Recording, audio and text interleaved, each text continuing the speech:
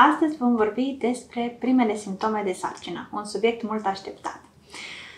Bun, în primul și în primul rând, să spunem că ați avut succes cu toate sfaturile preconcepționale, cu discuția pe care ați avut-o cu medicul dumneavoastră și așteptați cu nerăbdare să vedeți dacă ați reușit să rămâneți însărcinată în luna respectivă. Cât de repede puteți afla? O întrebare foarte frecventă. Cât de repede pot să aflu dacă sunt însărcinată? Uh, o să discutăm data viitoare despre testele de sarcină, diferențele dintre ele și acuratețea lor. Astăzi aș vrea să vă zic că ideal ar fi să nu stați uh, în continuu, să vă faceți 100.000 de analize și teste inutile.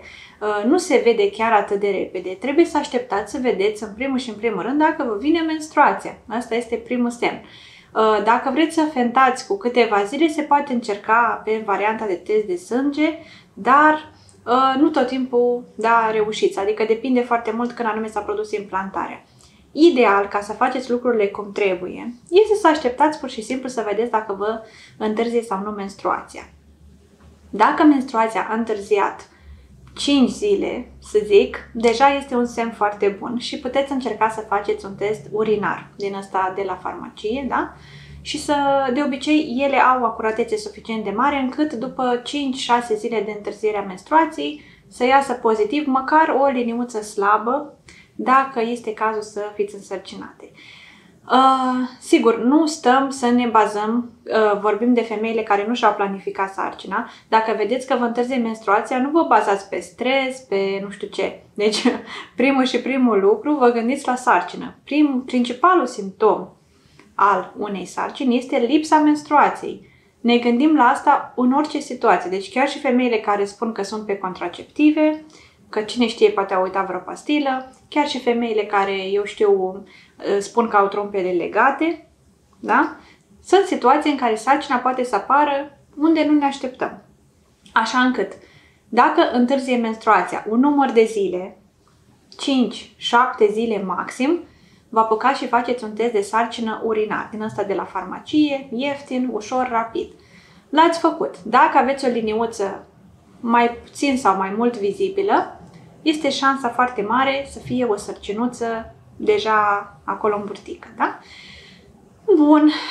Legat de uh, spotting-ul ăla, că multă lume mă întreabă uh, ce înseamnă asta, sângerarea de implantare, dacă este neapărat necesară.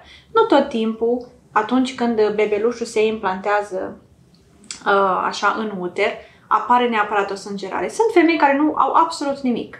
Sunt și câteva, un procent, care declară că au fie o scurgere mai maronie, fie ceva mai închis la culoare, dar nu să fie necesar un absorbant. Deci nu vorbim de o hemoragie.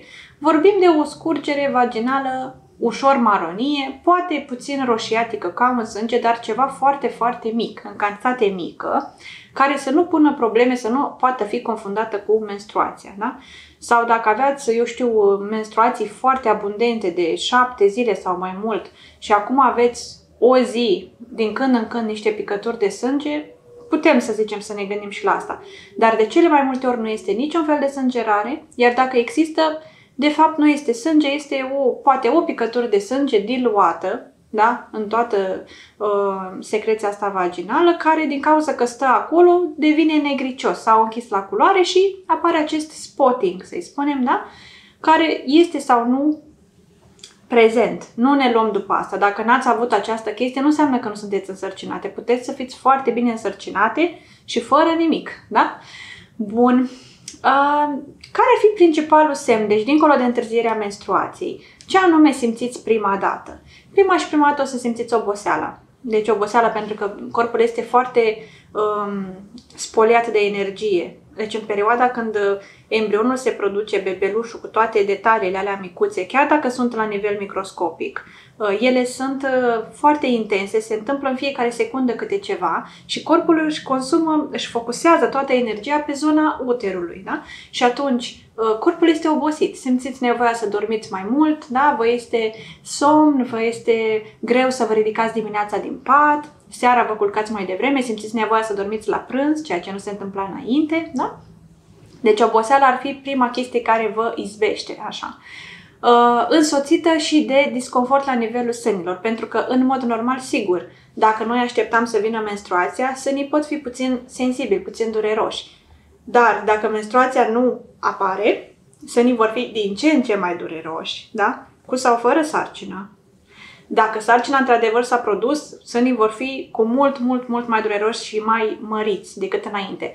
Dar chiar și la o întârziere a menstruației care nu este legată de sarcină, pot fi sâni dureroși. Atunci nu ne bazăm pe sâni ca și diagnostic, da? Deci eu spun ce simptome pot fi asociate sarcinii, nu sunt exclusive în sarcină, deci nu putem să punem diagnostic numai după senzații. Dar, sigur că o sarcină la început, întâi Așa apare, cu oboseală și cu sensibilitatea sânilor. Partea cu greața, cu modificările de miros, de gust și așa, nu apar imediat, deci vă păcăliți. Foarte multe doamne care așteaptă cu disperare un copil, da, eventual care încearcă de mai mult timp, îmi scriu și îmi spun, uh, dintre doamne, dintre paciente, da, uh, cred că sunt însărcinată, deci asta nici la nu le-a întârziat menstruația deloc, de exemplu, nici nu a ajuns momentul când trebuia să le vină menstruația, să l-a întârziat o zi, două și îmi spun sigur sunt gravidă că deja mi-e greață. Deci este imposibil. Hormonii de sarcină, hormonii de sarcină care produc această stare de greață, ă, trebuie să fie într-o cantitate suficient de mare da? pentru a produce simptomele astea digestive. De ce spun asta? Pentru că toate simptomele astea legate de ă, gust, miros și ă, sensibilități din astea olfactive, adică de miros, da? așa, apar după ce Uh, s-a implantat embrionașul, bebelușul s-a implantat acolo și începe să se dezvolte o mini placentuță, o, o placentă inițială, primordială, așa, da?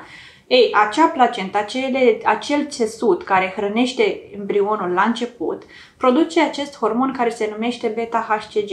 Și este nevoie să fie peste un anumit nivel acest hormon pentru a produce simptome digestive. Deci până atunci nu. De obicei, după 6 săptămâni spre 7, pe la 5 săptămâni, da? adică la o săptămână de la întârzierea menstruației, e prea devreme. Da? Pentru că vreau să fac aici o paranteză, când calculăm săptămânile, nu le calculăm de la concepție. Noi în, în obstetrică calculăm săptămânile începând cu ultima menstruație, deci din urmă. Deci în ziua în care v-a întârziat o zi, aveți 4 săptămâni și o zi. Da? Dacă așteptam menstruația la 4 săptămâni și ea nu a venit, avem 4 săptămâni și o zi și așa mai departe. Dacă așteptam menstruația și a întârziat o săptămână, avem 5 săptămâni. Da?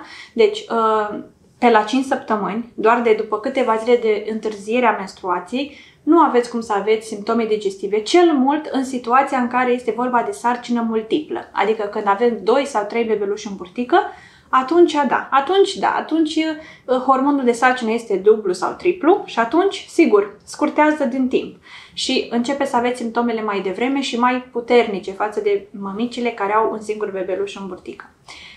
Dar când vorbim așa în mare, de obicei, ordinea este așa, întârzie menstruația, apare oboseala, apoi durerile de sâni, da, care cumva continuă, dar se întețesc, devin mai puternice, și abia mai târziu, spre 6 săptămâni sau mai mult, apar și simptomele digestive, pe care toată lumea le cunoaște, da? Greața și vărsăturile. Nu trebuie neapărat să fie și vărsături. Sunt foarte multe doamne care nu vomită deloc în sarcină, da? Deci ăsta nu este un criteriu. Sunt doamne care au greață sau nu. Dintre cele care au greață, um, nu neapărat trebuie să fie dimineața, cum scrie pe internet. Sunt multe doamne care au greață în cursul după amezii sau chiar noaptea, da? Însoțite sau nu de vărsături, însoțite sau nu de reflux, adică de arsure, asură care cumva vine din stomac înapoi, da? Așa, modificări de miros, sigur, de obicei sensibilitate la parfumuri, la geluri de duș parfumate, la diverse uh, din astea de mm, făcut aerul curat și proaspăt în casă, tot felul de substanțe, diverse uleiuri, da, care miros intens, um, diverse mâncăruri, sigur, aici este particular, fiecare este diferit, da? depinde și de bebelușul din burtică, dacă e fetiță, dacă e băiețel, se, se produc anumite modificări hormonale și fiecare sarcină este diferită. Vorbind cu doamnele care au născut câte 10-15 copii, asta spun, că la toți a fost diferit. De obicei cu fetele într-un fel și cu băieții într-un fel, dar cu variații. Niciodată o sarcină nu este la fel cu alta și niciodată o naștere nu este la fel cu alta chiar și la aceeași femeie, chiar și la aceeași femeie care face numai fete, de exemplu, sau numai băieți. Deci, nu există uh, un pattern. Există în mare anumite marge da? în care putem să ne încadrăm. Sigur că aceste simptome sunt destul de frecvent întâlnite. Există și varianta dramatică în care aceste grețuri și vărsături sunt duse la extrem, în sensul în care nu mai reușesc să doamnele să nici măcar să bea apă și atunci se cheamă dezgravidie de trimestru 1, uh, formă severă, da? și trebuie internare în spital sau măcar ajutor cu niște perfuzii, cu ceva că nu se poate chiar să nu ne alimentăm și nici să nu ne hidratăm mai multe zile la rând, deja uh, intrăm în starea de boală, nu mai suntem în normalitate. Așa, cam asta ar fi partea de digestiv. Uh, mai sunt niște probleme, uneori, nu la toată lumea, uh, legate strict de cavitatea bucală, deci de gură. Ce se poate întâmpla? Se poate întâmpla să apară salivație excesivă, se cheamă sialoree, deci exces de salivă. Și chiar sunt anumite doamne care pur și simplu umblă cu păhărelul așa și tot scuipă în păhărel că nu mai reușesc să înghită. Se poate întâmpla, mai ales la sarcinile gemelare se întâmplă asta, da? Așa.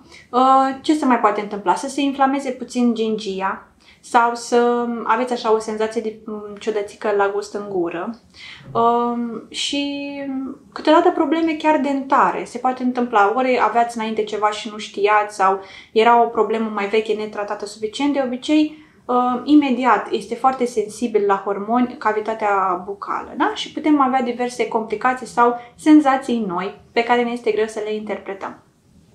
Un alt simptom, uh, strict legat de burtică, de partea de pelvis, ar fi uh, că este posibil, la început, în primele săptămâni, să urinați mai frecvent. Sigur, teoretic, toată sarcina urinați mai frecvent, dar în primul trimestru și în ultimul trimestru, prin mecanisme diferite, se produce această senzație de a merge la baie mai des. Da? De ce? Pentru că uterul el este micuțel, așa cum îl vedeți, ca o pară.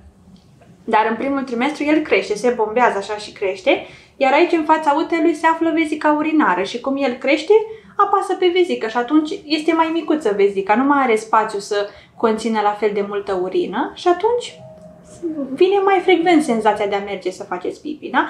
Asta nu înseamnă că este o problemă, este ceva normal. Iar spre finalul sarcinii, deși uterul este foarte mare, da, uterul este mare, așa, ă, motivul pentru care faceți pipi mai des mai ales spre finalul sarcinii din trimestrul 3, este că bebelușul de obicei este întors cu capul în jos și capul, fiind o structură mai dură, așa, da, tot așa apasă pe vezică și atunci vă vine să faceți pipi mai des. Dincolo de faptul că și mecanismele hormonale de producere a urinii în sarcină sunt puțin diferite, adică puțin uh, noi avem o tendință la reține apa și proporțional este și urina mai multă. Da? Sunt mai multe modificări acolo hormonale, foarte interesant ce se întâmplă la nivelul rinichilor și uh, toate lucrurile astea duc la o producție mai, mai mare a urinii față de înainte de sarcină, că sunt multe modificări.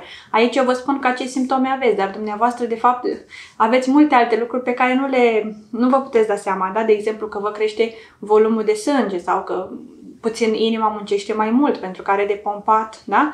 Uh, și pentru dumneavoastră, dar și pentru viitoarea placentă, viitorul bebeluș, sunt multe, multe modificări la nivelul corpului feminin atunci când se produce o sarcină. Dar din ceea ce simțiți dumneavoastră, ar fi cele ce, pe care vi le-am spus. Ce mai puteți simți? Mai puteți simți diverse senzații în partea de jos a burticii, dar aici nu mă refer la mișcările bebelușului, că mișcările bebelușului uh, le veți simți abia după 16 sau 18 săptămâni în funcție de dacă sunteți la prima sarcină sau nu, da? deci undeva după 4 luni de sarcină le puteți simți, deși bebelușul mișcă mai devreme, undeva pe la 8 săptămâni deja începe să dea din mânuțele la micuțe ce se formează și așa, numai că alea nu sunt niște mișcări controlate, sunt niște mișcări involuntare, deci se dezvoltă puțin partea musculară și atunci bebelușul verifică. Mișcă mâna asta, mișcă mâna cealaltă, da? Dar uh, nu este o mișcare voluntară și nici nu aveți cum să o simțiți mai devreme de 16 săptămâni. Deci, dacă simțiți ceva în partea de, de jos a burticii, pot fi diverse înțepături, stânga-dreapta, să zic. Deci, în zona asta, de aici, de la, de la zona în care intră trompele uterine în uter, pornesc așa niște ligamente. Niște ligamente sunt niște structuri mai dure așa, care se duc cumva spre perete și ajută la fixarea uterului în pelvis, ca uterul să nu cadă, da? Ei, aceste ligamente, ligamentele rotunde, așa se numesc, ele, din cauza că uterul vrea să crească, sunt întinse, da? Dar uterul nu crește așa, gen neapărat deodată. Deci el poate, poate, de exemplu, trage puțin ori de stânga, ori de dreapta, el nu crește așa ca o floare, da? Deci este un mecanism foarte complicat. Ideea este că puteți simți aici sau aici, cum ar fi, da? Niște înțepături când crește uterul în primul trimestru. Nu, nu sunt constante, nu sunt continui. De obicei le simțiți când faceți o mișcare mai bruscă sau la un efort, atunci când se trage mai tare de acele legamente. Astea sunt uh, lucruri normale. Uh, și mai puteți simți așa o stare de apăsare, dar nu de durere. Deci o stare de apăsare ca, o, ca un freamăt așa în burtică. Asta iarăși este cumva în limite normale, da? Ce nu este normal, ce nu este normal deloc, este să aveți dureri, dureri cam ca la menstruație sau mai puternice și sau sângerări cu sânge roșu viu mai ales, da? Deci una este să aveți așa o picătură maronie atunci când am zis că este aproximativ perioada implantării și alta este să curgă sânge, da? Asta nu înseamnă că uh, aveți ciclu peste sarcină, asta înseamnă că aveți o hemoragie în sarcină și trebuie văzut de ce. Pentru că sunt situații în care sarcina, de exemplu, nici măcar nu este intrauterină. Deci puteți fi însărcinate aveți toate aceste simptome și, de fapt, sarcina este pe trompă, de exemplu, da? Și asta cum se manifestă? Cu dureri, mai ales pe partea respectivă, și cu sângerări. Și atunci, de asta este atât de importantă ecografia de primul trimestru. Deci, această ecografie de primul trimestru nu mă refer la 12 săptămâni cum se face în UK, că ai, mă rog, iarăși, sinucidere. Deci, prima ecografie de sarcină trebuie făcută în intervalul ăsta 5-8 săptămâni. Deci, în primele 2-3 săptămâni de întârziere a menstruației. De ce? În primul și în primul rând, pentru a avea certitudinea că este bebelușul situat unde trebuie, adică să fie efectiv la locul lui, da? Și să știți dacă e unul sau dacă sunt doi sau dacă sunt mai mulți, da? Și raportul dintre ei, pentru că în situațiile în care sunt sarcini multiple, acum, în momentul ăsta, este esențial pentru a stabili dacă bebelușii vor avea placente separate sau Uh, lichid amniotic separat sau nu, sunt niște lucruri foarte importante care țin de prognosticul acelor bebeluși. Și dacă nu se pune diagnosticul ăsta acum de vreme, lucrurile devin mai complicate pe parcurs. Și această ecografie de prim trimestru, o să vorbim într-un episod separat despre ea, ce elemente putem găsi și care este importanța lor, uh, este esențială să o aveți, da? Pentru că nu vă bazați că, las că totul e bine, am mai născut încă 5 și la ea n-am fost la ecografie și sigur și asta e bine. Puteți avea 5 copii și o sarcină extrauterină, da? Sau mai sunt niște probleme, niște tumori, se cheamă molă hidatiformă, sunt tot felul de chestii care se pot întâmpla, care pornesc de la ideea de sarcină, dar de fapt produc niște complicații. Și așa încât vă recomand ca după ce ați observat că întârzie menstruația, să spunem că a trecut o săptămână și nu aveți menstruație, aveți și alte simptome, cum ar fi oboseală, dureri destul de mari de sân, da? eventual faceți și pipi puțin mai des, faceți un test de sarcină. Dacă este testul de sarcină pozitiv, chiar și dacă a doua liniuță este slab vizibilă, dar se vede ceva, Uh, fie repetați testul după o zi, două, ca să fiți siguri, fie uh, faceți-vă programare la un medic, să vă vadă cineva, să, să se asigure că este totul bine. Că dacă aveți confirmarea asta, după asta, sigur, nu trebuie să mergeți foarte des la, la ecografii, dar să aveți confirmarea că este unul sau doi sau mai mulți și că sunt în burtică unde trebuie în uter da? și nu în alte zone, pentru că sarcini extrauterine pot fi în mai multe locuri, nu doar pe trompă. Noi vorbim pe trompă la modul general că e cea mai frecventă situație, dar sunt și sarcini extrauterine care sunt în afara, trom, în afara trompei uterine. Da? Și este important de cunoscut numărul, poziția bebelușilor, da? unde stau, câți sunt și dacă sunt bine, dacă sunt vii. Pentru că sunt și situații când doamnele vin foarte târziu la această primă ecografie, gen vin prima dată la 8 sau 9 săptămâni adică după o lună de întârziere sau mai mult, și descoperă diverse surprize. Da? De exemplu că bebelușul nu mai trăiește. Nu înseamnă că e din cauza că n-au venit ele, dar este important să știe ca să nu se trezească cu un avort spontan acasă și nu știe de la ce este. Adică uh, este important, de exemplu, dacă vă duceți la ecografie după șase săptămâni, deci să aibă sărcinuța două săptămâni și 3-4 zile de la întârzierea menstruației, atunci bebelușul are și bătăi de cord. Se aude așa, se, pute, se poate auzi pe ecograf bătaia inimii. Da? Și asta este o confirmare și un lucru foarte frumos și emoționant pentru părinți să își audă inimioara bebelușului. Și, sigur, este și o bucurie și este un motiv de certitudine, adică noi știm că bebelușul în ziua respectivă avea bătăi de inimă, deci era viu, da? Și la următoarea ecografie, da, se vede dacă este în continuare uh, bine, da? Cât de mult a crescut, ce structuri noi a dezvoltat. E bine să aveți așa un dosărel de sarcină, nu cu exces de zel, cu ecografii din două în două săptămâni, uh, din diverse motive, uh, dar o dată pe lună, dacă treceți pe la medic, să se asigure medicul dumneavoastră că este bebelușul bine, sănătos, are creștere normală, cum stă, cât cântărește și alte elemente din astea, aveți și dumneavoastră starea de bine necesară să vă relaxați da? și să vă focusați pe restul lucrurilor, adică, de exemplu, pe un stil de viață sănătos adecvat sarcinii. Și despre asta o să vorbim separat. Bun, încă o întrebare și ultima despre care vreau să vorbesc. Uh, mă întreabă foarte multă lume când anume se vede burtica, când începe să se vadă burtica, pentru că vreau să vă spun că asta nu este unul din simptomele de sarcină.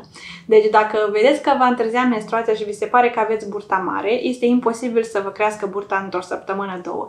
Burtica se vede la propriu, ca și burtică de gravidă, undeva după 15-16 săptămâni. Abia atunci uterul crește suficient de mult cât să iasă din pelvis. Pelvisul fiind zona osoasă, da? Pe care se inseră picioarele. Deci, uh, uterul este un organ foarte profund, foarte, da? El este undeva între oase băgat. Și el trebuie să crească, să crească, să crească și abia, abia la 15 săptămâni, aproape de 4 luni, da? Începe uterul să fie palpabil, adică putem efectiv, dacă punem mânuța pe burtă, să-l simțim. Până atunci nu se simte decât la consultația ginecologică. Da? Bun, deci asta cu burtica care se vede, se vede foarte târziu.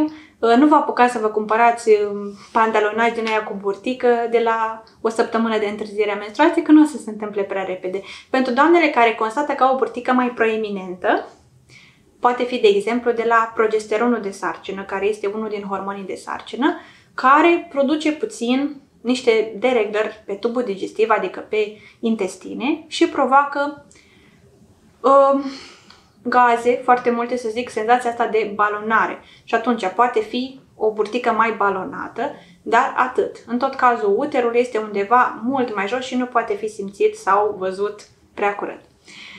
Ultima chestiune pe care vreau să o, să o discutăm, o mică, mică, mică paranteză, este despre doamnele care își doresc cu obsesie, cu obsesie o sarcină, adică pur și simplu sunt focusate numai pe ideea asta de teze sarcină pozitiv, de confirmare medicală că ea este însărcinată și eventual să anunțe și foarte repede asta pe Facebook.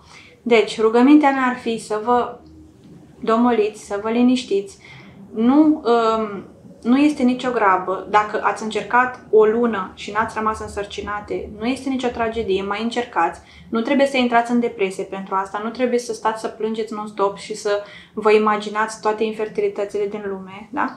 Deci copilașii vor veni cu răbdare, faceți tot ce trebuie și veți, veți obține acea sărcinuță, pentru că există și situații rare cei drept, dar sunt situații în care femeile sunt atât de disperate și atât de obsedate de sarcină încât ajung să își inducă psihic aceste simptome. Deci tot ce v-am spus eu, întârzierea menstruației, greață, oboseală, sâni măriți, sânturi roși, da? urinări frecvente și uneori chiar și burtică care crește sau lapte care se produce, poate apărea într-o situație medicală mai rară în care femeia este își e un fel de placebo, da? deci ea se convinge pe sine că este însărcinată, încât corpul creează acei hormoni care mimează aceste simptome. Deci, nu ajungeți în situația asta, da? am văzut de câteva ori, este destul de rar, dar nu este o idee bună să, vă, să deveniți chiar în, în situația asta pe obsesie. Adică mult timp nici nu v-ați gândit la copii, ați fost focusate pe carieră, pe călătorii și alte lucruri și deodată când vi s-a aprins beculețul cu vreau copii, nu aveți răbdare nici o lună, două, trei, da? Trebuie să stați liniștite, lucrurile se întâmplă într-o ordine firească, naturală, da? Și veți obține sărcinuța. Dacă vă stresați foarte mult, nu este nici sănătos și nici productiv, da? Deci, uh, calm, zen, vă doresc uh, să aveți teste de sarcină pozitive cât mai repede, doamnelor care își uh, planifică o sărcinuță și data viitoare o să discutăm despre alte subiecte legate de trimestrul 1 de sarcină. V-am pupat!